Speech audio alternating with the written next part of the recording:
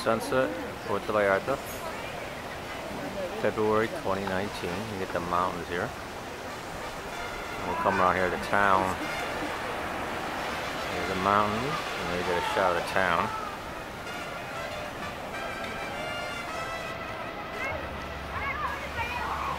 That's pretty cool.